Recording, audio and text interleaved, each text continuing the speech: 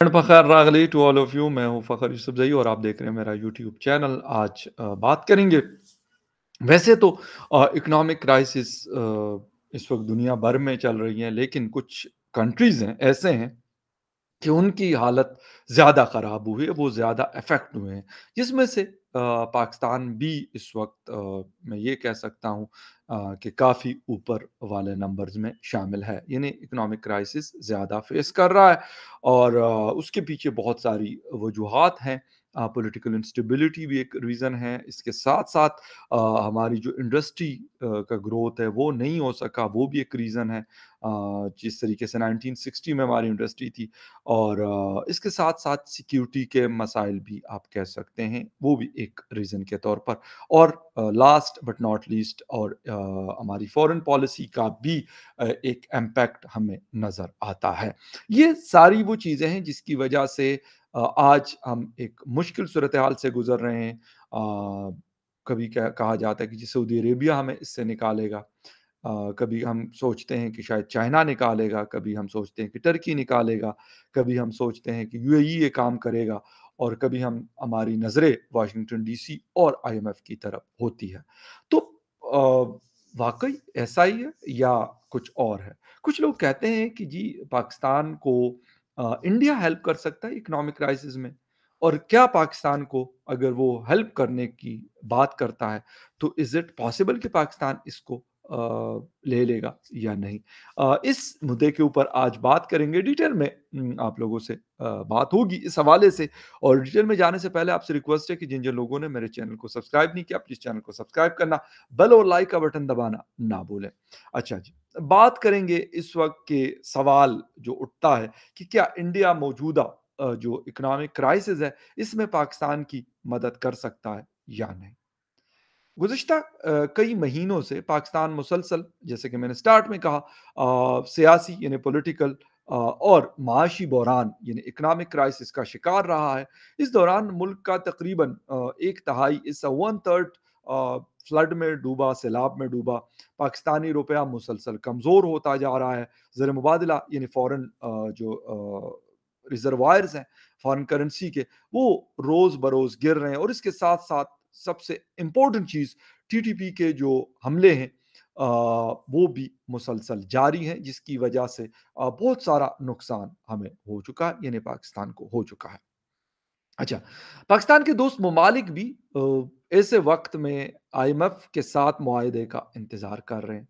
जब यूनिसेफ की ताज़ा-तरीन रिपोर्ट के मुताबिक मुल्क में अब भी तकरीबन 40 लाख यानी 4 मिलियन बच्चे आलूदा पानी यानी गंदा सैलाबी पानी के करीब रह रहे हैं, जिससे इनकी सेहत को खतरा लाक हैं। पाकिस्तान के अंदर खबरें सुने तो वहाँ श्रीलंका जैसी सूरत-ए-हाल पैदा होने का चर्चा है। सवाल ये है कि एटमी हथियारों से लैस पाकिस्तान की ऐसी सूरत-ए-हाल पर हमें पर हमसाया मुल्क इंडिया को कितना फ़िक्रमंद होना चाहिए और क्या इंडिया पाकिस्तान की मदद कर सकता है या नहीं? इंडिया के जो फॉरेन मिनिस्टर है जयशंकर साहब, उन्होंने हाल ही में एएनआई अ, में समिता प्रकाश से बात करते हुए पॉडकास्ट में उन्होंने कहा था कि पाकिस्तान के मौजूदा बहरान पर अ, उनका ये कहना था कि पाकिस्तान का मुस्तकबिल बड़ी हद तक पाकिस्तान के इक़दामात और पाकिस्तान के ऑप्शंस के इंतखाब पर मुनहसर है। अच्छा, उनका कहना था कि ऐसी मुश्किल सूरत-ए-हाल में कोई भी अचानक और बगैर किसी वजह के नहीं पनपता। अब ये इन पर मुनहसर है इन पर डिपेंड करता है कि आगे का रास्ता क्या होगा। आज हमारा रिश्ता ऐसा नहीं है कि हम इस अमल में बर रास्त शामिल हों। उनका कहना था कि अगर हम श्रीलंका से मुवाज़ना करें तो मैं कहूँगा कि ये बिल्कुल एक मुख्तलिफ़ रिश्ता है। श्रीलंका के साथ हमारे दोस्ताना ताल्लुकात हैं। बिल्कुल, इसमें कोई शक नहीं है। इस वक़्त पाकिस्तान में डिफ़ॉल्ट होने का ख़दशा ज़ाहिर किया जा रहा है। मुल्क के वज़ीर दिफ़ा यानी डिफेंस मिनिस्टर ख्वाजा आसिफ अ, का कहना है कि पाकिस्तान डिफ़ॉल्ट कर चुका है। ख़ैर पाकिस्तान के जो इकोनॉमी के एक्सपर्ट हैं और former finance minister Salman Shah साहब का ये कहना है कि पाकिस्तान मौजूदा सूरत-ए-हाल पर काबू पाने में कामयाब हो जाएगा।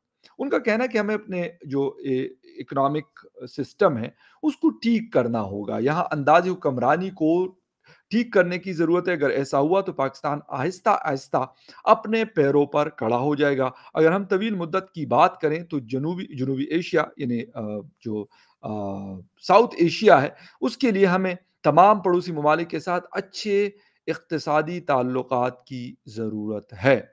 लेकिन आज की सूरत हाल ये है कि पाकिस्तान की हालत बहुत ख़राब है और बढ़ती हुई सियासी तलख़ी मामलात के बेहतर होने में रुकावट है। अच्छा, ये वाली बात डॉक्टर सलमान शाह साहब एक बड़े काबिल, क्रेडिबल आदमी है no doubt about it. But the thing is कि उनका उनकी बात तो बिल्कुल सही है कि हमें अपने जो नेबरिंग कंट्रीज़ है उनके साथ अपने जो इकोनॉमिक रिलेशंस हैं, उसको बेहतर करना पड़ेगा। आया हमने कभी इसके ऊपर काम किया है? ईरान के साथ हमारा कोई ऐसा सीन नहीं है। वो शायद इकोनॉमिक अमेरिकन सैंक्शंस भी हो, लेकिन इसके अलावा भी बहुत सारी वजूहत हैं कि जिसकी वजह से हम उनसे आज भी इतने सेंक्शंस के बावजूद वहाँ पे फ्रूट, खाने-पीने की अशिया, बहुत सारी ऐसी चीज़ें हैं जो पाकिस्तान को कम पैसों में मिल सकती है। लेकिन पाकिस्तान वो नहीं लेता।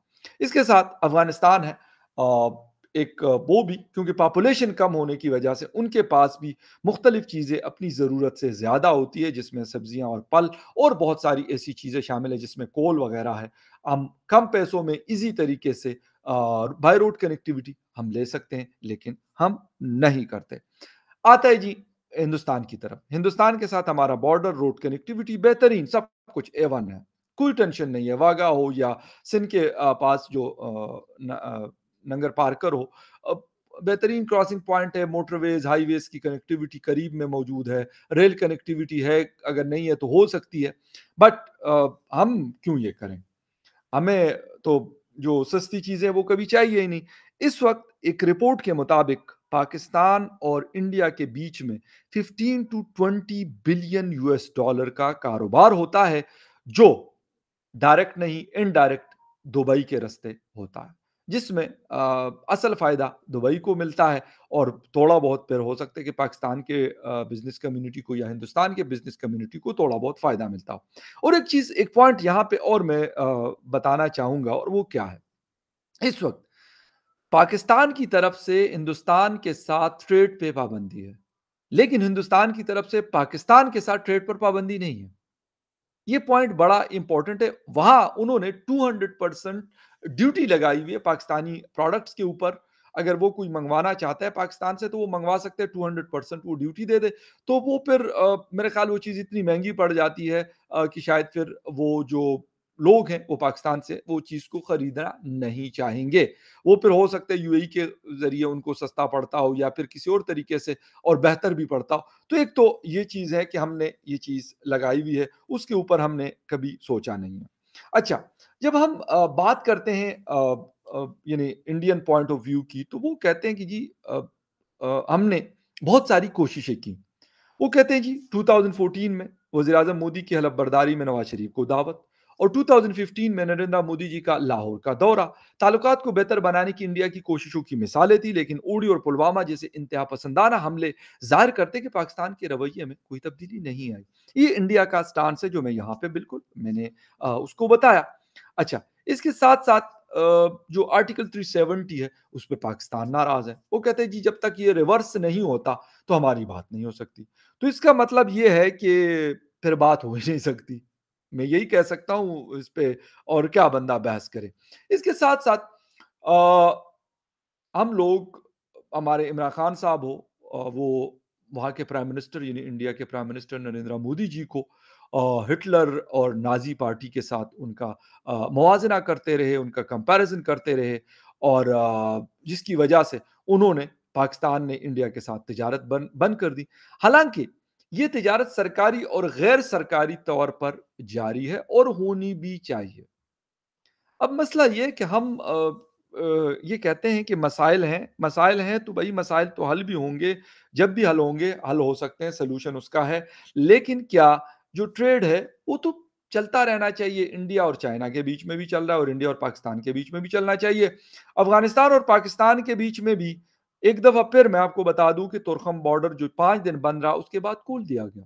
फाइनली वो खुल गया और वहाँ से यहाँ पे ट्रक्स आ रहे हैं, यहाँ से वहाँ पे ट्रक्स जा रहे हैं और चीज़ों का जो आना-जाना है, हालाँकि एक जंगज़दा मुल्क रहा है अफ़गानिस्तान, जंग से मुतासिरा कंट्रीज़ में उसका शुमार होता है 50 साल से। उसके बावजूद उनका जो ट्रेड का सिस्टम है, हाँ ठीक है, हमारे भी उनसे गिले-शिकवे रहते हैं और उनके हमसे गिले-शिकवे रहते हैं। वो कहते हैं आप लोगों ने हमारी हमारे लिए ये नहीं किया, हम कहते नहीं जी आपने तो हमारे लिए वो नहीं किया। तो ये चीज़ें लेकिन इसके बावजूद आना-जाना भी किसी हद तक है और कारोबार भी किसी हद तक है, बहुत अच्छा नहीं है। जो हो सकता है अनफॉर्चुनेटली बहुत कम है, लेकिन बेहतरी आ सकती है और उससे हमें फ़ायदा हो सकता है। अफ़गानिस्तान को जितना फ़ायदा हो सकता है, उससे ज़्यादा हमें पाकिस्तान को फ़ायदा हो सकता है। लेकिन अफ़सोस के शायद जो कुछ लोगों का फ़ायदा है, वो फिर कम होता होगा ग़ालिबन, इस वजह से वो नहीं करना चाहते।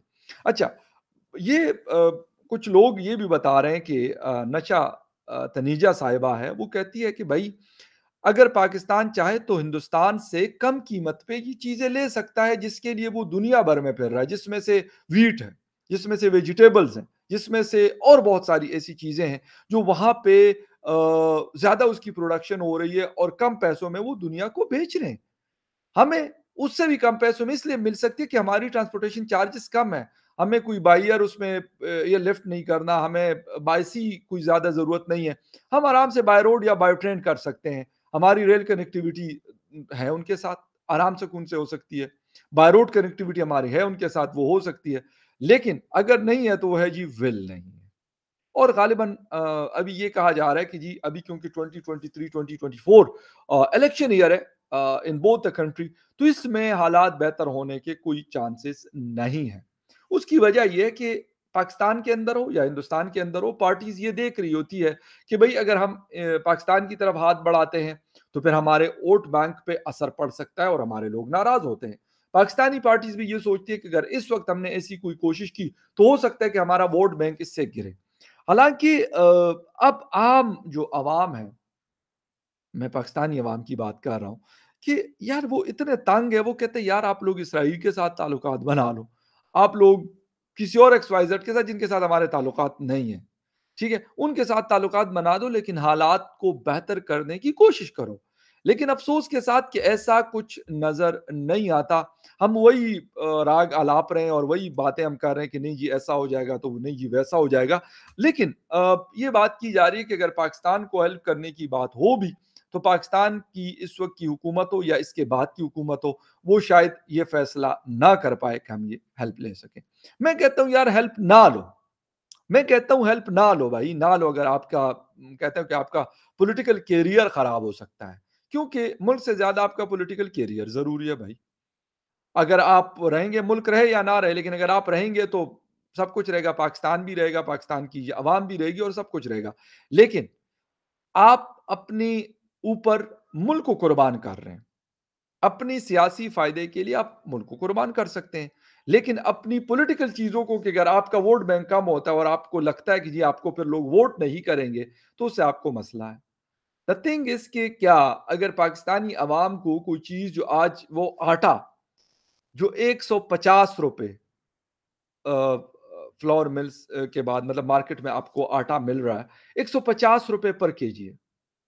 ठीक है? राइस का रेट 400 प्लस में पर केजी है और इस वक़्त जो ईडेबल ऑयल है अ, कल मैं एक सुपरमार्केट में गया था किसी और काम से लेकिन मैं प्राइसेज़ वहाँ पे देख रहा था। तो इस वक़्त कुकिंग ऑयल और खाने वाले घी की जो कीमत है तकरीबन 700 के आस-पास इस वक़्त हो गई है। ये जो नया मिनी बजट आया है। अब बात ये है कि यार आवाम को ये चाहिए कि यार आप वो हिंदुस्तान से वो चीज़ लेते हो, आप अफ़गानिस्तान से लेते हो, आप किसी और दुनिया के मुल्क से लेते आप इसराइल से लेते हो या सऊदी अरेबिया, यूएई से लेते हो। हमें तो वो चीज़ चाहिए कि वो हमें कम कीमत पे अच्छी क्वालिटी की चीज़ मिल जाए। हमारा मसला तो ये नहीं कि भाई ये चीज़ आप लाए कहाँ से है? हमने पाकिस्तानी अवाम ने तो मेरा नहीं ख़्याल ये वैसे तो बातें बहुत कर लेते जी ये फलाँ तो फलाँ तो ढिमका तो फलाँ काफ़िर तो फलाँ मुसलमान तो फलाँ ढिमका फ लेकिन मैं कहता हूँ इर्द-गिर्द आप वैसे किसी छोटे से छोटे घर में आप वैसे ही नज़र दौड़ाए ना, आपको रूम में इन गैर मुस्लिमों के मुल्क की, इनकी कंपनीज़ की, इनकी हाथों की बनी हुई बेशुमार चीज़ें आपको एक रूम की मैं बात कर रहा हूँ। मैं पूरे घर की बिल्कुल बात नहीं कर रहा। पूरे घर में तो शायद मेजोरिटी चीज़ें आपको उनके हाथ की बनी हुई आपको मिलेगी। लेकिन ये हमारा माइंडसेट हमने वैसे ही एक वो बना लिया कि जी हम तो ये करेंगे। हालाँकि अरब दुनिया की सबसे बड़ा जो ट्रेडिंग पार्टनर्स है उनमें हिंदुस्तान है, उसमें यूएस है, उसमें यूरोप है। वो सबसे बड़े ट्रेडिंग पार्टनर है Saudi Arabia, UAE, Qatar, Kuwait, Oman, ठीक है? इनके, इराक के, सीरिया के। यार क्या उनकी मुसलमानी इससे खत्म हो गई? नहीं। वो अपनी जगह है भई आपको अगर किसी के साथ तजारत अगर हम ये बात करते हैं तो जिस वक़्त स्टार्ट हुआ था मोहम्मद बीस अफान उनके ज़माने में भी ट्रेड हुआ करता था दुनिया के पता नहीं किन-किन ममालिक के साथ वो ट्रेड किया करते थे। ऐसा कभी मतलब आज मैंने तो कम अज कम नहीं सुना किसी से कि वो कहते नहीं, नहीं, नहीं, नहीं ये तो मुसलमान मुल्क नहीं है इसके साथ तो हमारा ट्रेड हो ही नहीं सकता। करते थे। द थिंग इज़ कि हम अपनी मुसीबत ये है कि हम एक ऐसे उसके अंदर होल के अंदर अपने आप को हमने बंद किया हुआ जिससे सांस लेना पहले ही मुश्किल था, अब मज़ीद मुश्किल हो रहा। और जो बची-कुची कसर होती है वो हमारी फिर जो पॉलिसीज़ होती हैं गवर्नमेंट्स की या एस्टेब्लिशमेंट्स की या किसी की भी, तो वो फिर मज़ीद ज़िंदगियाँ तंग करती हैं, ज़िंदगियाँ मुश्किल करती हैं। द थिंग इज़ कि हमें इससे निकलना है या इसी के साथ हमने मज़ीद नीचे की तरफ़ जाना है। शायद मैं तो मेरा ज़ाती ख़्याल ये है कि मैं कहता हूँ कि शायद इससे नीचे और मतलब काई नहीं है। बिल्कुल हम उस उस उस जगह पे बैठ गए हैं जहाँ से फिर मतलब वो कहा जाता है ना कि आप ऊपर तो आ सकते हैं लेकिन इससे मज़ीद नीचे नहीं जा सकते। ख़ैर एनी वे क्या हो सकता है, क्या नहीं हो सकता, ये जो-जो चीज़ें भी आती हैं तो आपके साथ कोशिश होती है कि आपके साथ शेयर करें और करते भी हैं। तो होपफुली आपसे फिर मुलाकात होगी किसी और न्यूज़ अपडेट में, तब तक के लिए टेक केयर बाय।